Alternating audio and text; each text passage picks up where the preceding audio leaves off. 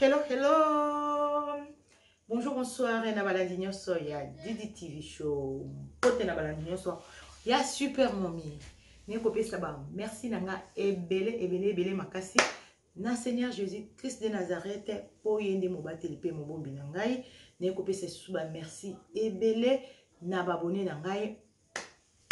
merci beaucoup mes abonnés i love you so much merci na oyo nyonso bozosala mpona channel na ngai merci na ndenge bozolake bavideo merci na ndenge bozopartage bavideo merci na ndenge bozokommente bavideo na ngai vraiment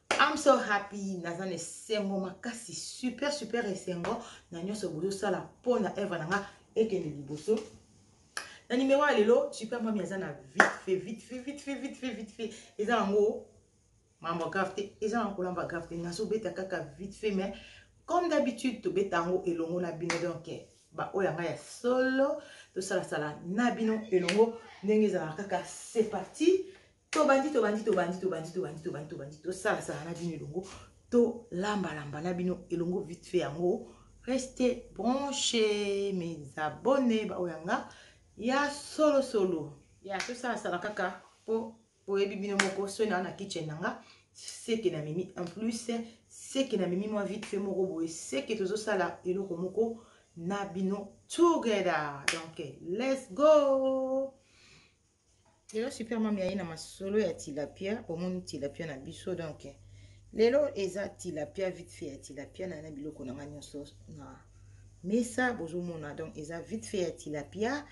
naza na tomate na ngai ya fruit naza na oignon na ngai naza na pilipili mbuma moko naza na ai naza na ndembi na ngai mwa mokie naza na poivron na ngai ya vert normalement fai nasalela oyo ya rouge naza na oyo ya rouge te donc eza vite fait fo nasala kaka na oyo nyonso namonani yango kuna tilapia na ngai eza deja ya kosukola kutu naza na nini na ngai piment na ngai chili na ngai ya powder kuna naza na garlic na ngai njinja na ngai na tangawisi vraiment reste branche na bouteille wana kuna ya couvercle ya vert naza na piment na ngai Ba nika. Restez toujours branches mes abonnes tosala na bino ndenge ezalaka kaka on est là tosalasala na bino super mami ali eza nango masolo ya vite fait hein? vite fait nde makambo vite fait nde makambo e donc sans plus tarder tobandi tobandi tobandi na biso dejà. Avant na banda nioso nde na lataka na nga tablier na nga nazo tia tablier na nga eza vite fait vite fait mosusu esengaka tablier te mais mosusu esengaka pe tablier donc natie tablier na nga vite fait nasalasala ndenge ezalaka kaka la famille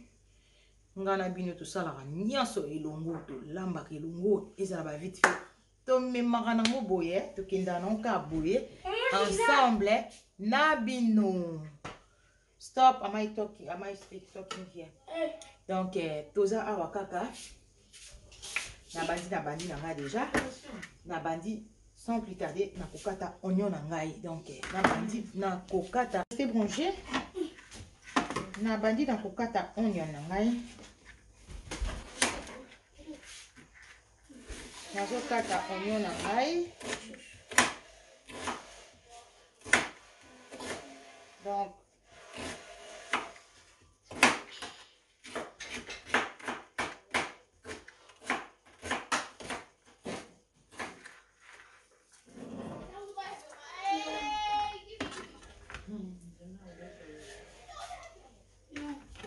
Nabandi na oignon.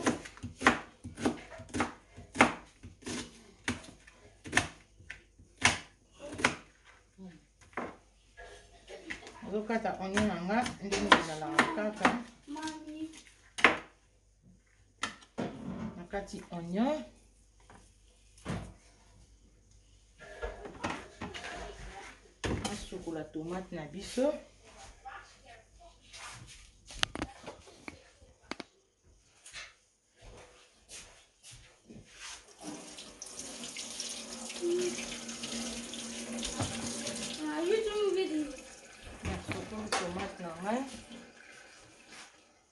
nazokata nasisaka kokata mbala moko nakata tomato na nga mbala moko mbala moko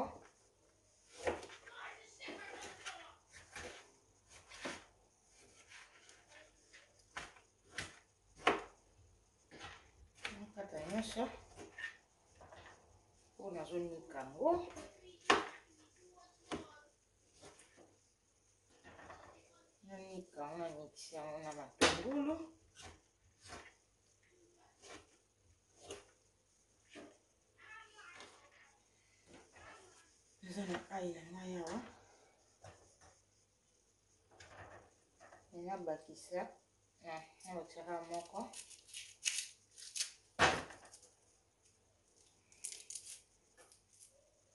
Nobakisa kaka mbuma ayi moko mpe complete nga mpo naza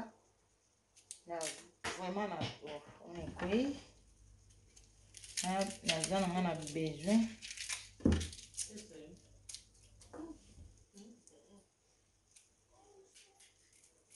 naza na besoin ayi eyokana donc nabakisi mbuma nga moko ya ayi c'est bon déjà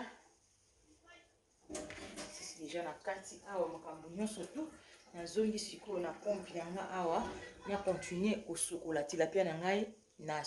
nazosokola tilapia na biso sikoyo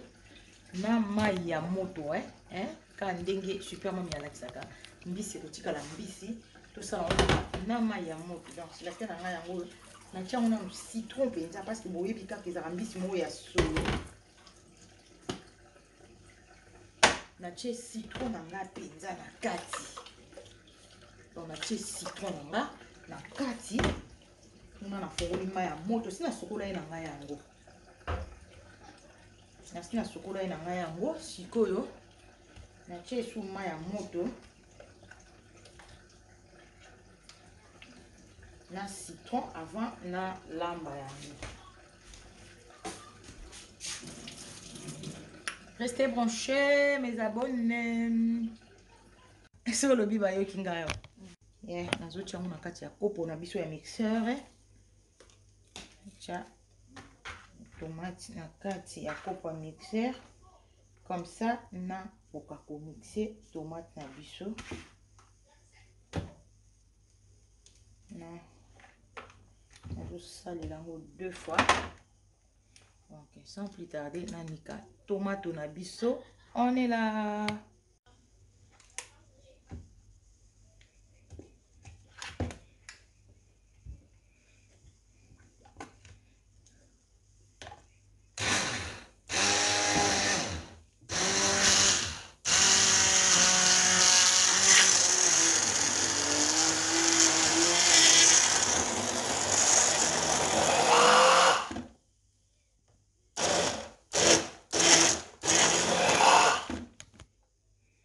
Tozo continuer kaka, tozo continuer. Niki,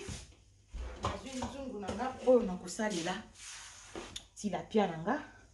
Nazui na tie epice na nga oyo na bakisi na sisi mai nyonso te na bakisi bakisi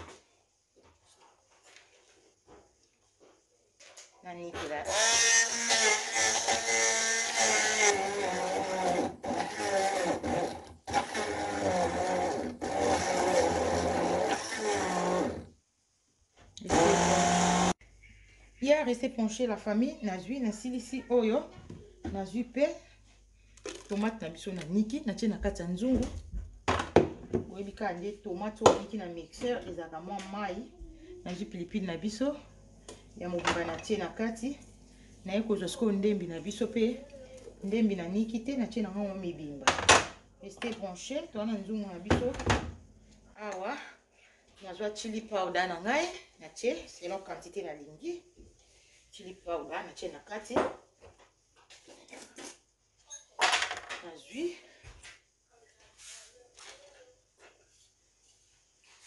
nazwi njinja na biso na tangawisi na tie na kati reste branche la famille nazwi muscade na ngai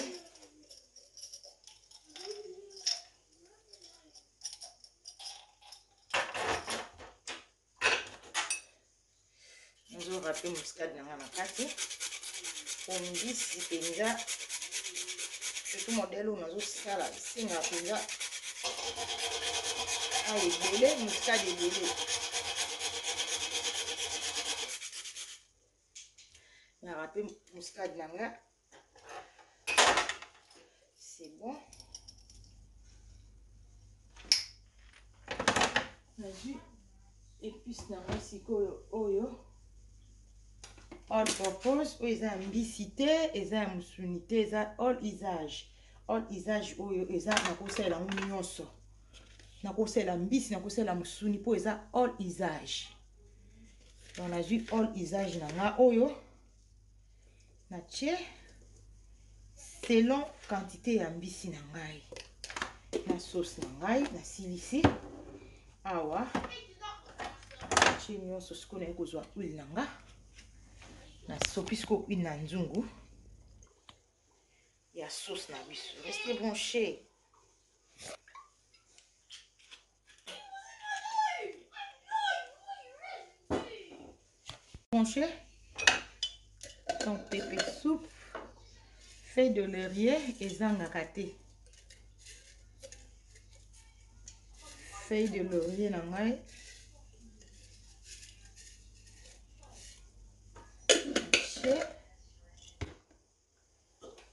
ese branche la famille naketi yango sikoyo na moto ozape te reste branche otala nde super yango mi azosala yango ntina suka ye ya toza wana kaka amatisi biloko na nga na moto tozela kaka ebanda kosalasala este branche kozape te la famille toza wana kaka tozela resultat ya nzungu na biso oyo totie na moto eza nango vite fait reste branche mes abonnés tosalasala kaka ndenge ezalaka yeah. reste branche omoni sauce na biso ezobela kaka na moto ya malembe eh? na briske yango te ezobela kaka na moto ya malembe mpo na chai tomate ezobela nango na moto ya malembe malembe mpo ngai ya tomate na biso ebima restre branche baoyo ya nga mona tie moto vraimen mokie sosi na biso ezwa temps nango na kati ezwa vraiment temps ya kobela toza kaka wana tozolamba kaka ndenge ezalaka Kakakai. Sauce na biso ezobela calmement vraiment. Wow. Ezwa temps nango na moto. Ezwa vraiment temps nango.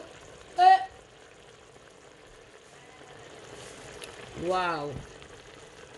Ya reste branche sikoyo tolingi totya sikoyo mbisi na biso na kati ya sauce sauce na ngai vraiment ebeli vraiment super bien ndenge nalingaki sikoyo nalingi natya mbisi na ngai na kati ya nzungu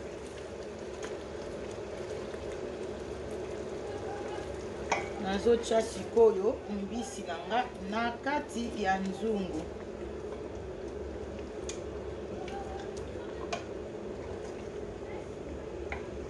natie mbisi na nga na kati ya nzungu restez toujours branché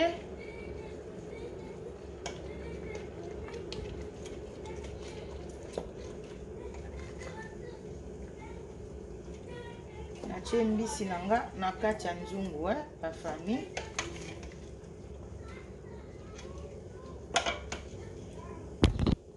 Ka mai ya moke na baloli yango nazotyaka mai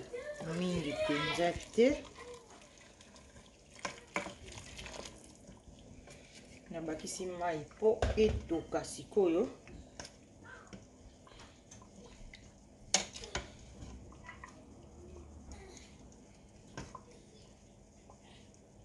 natia yango kaka mibimba mibimba reste toujours branche mbisi na biso ekoti na moto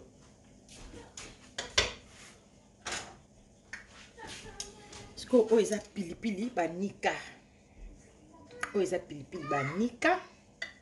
super mami osala nini na pilipili oyo banika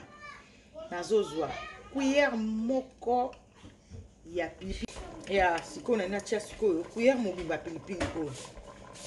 donc oyo cuillère mobimba ya pilipili oyo vraimen ezalaka nkombo nango ezalaka bana balia te bana balia te oyo mpenza ezalaka mpenza bana balia te bato oyo bavanda na banigerienne bayebi sauce oyo nazosala basala yango na na bambisi mingi basala yango na tilapia basala yango na malangwa basala yango donc bana balia te soso oyo ngai ya ngai mpe tema balingaka na bango mbisi te ah. wana ba lelo lelo na kosala mpe systeme yango ya bana balia te ezalaka mpenza na mposa mpenza donc ntina kuya kotya lutu eza te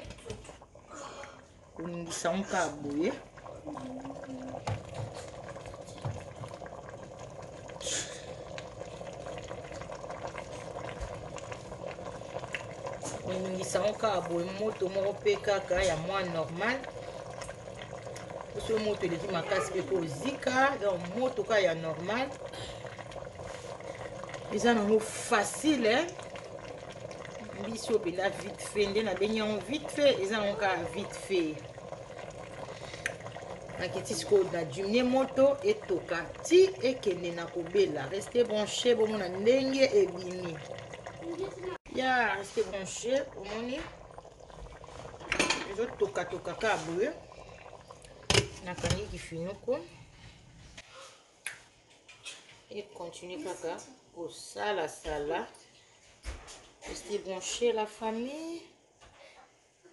Oza wana kaka. Lion na biso elingi ebela nango yango eumelaka na moto te. Ya baliaka kaka ye, baliaka kaka mbisi na biso ebeli. Bomoni nde ebeli vraiment super bien na pilipili wana. Waouh. eliama na nini edepa na eloko motu na motu alingi alia yango okoki kolia yango na kwanga okoki kolia yango na na fufu okolia na makemba eza vraiment wow donc bouillon moko wow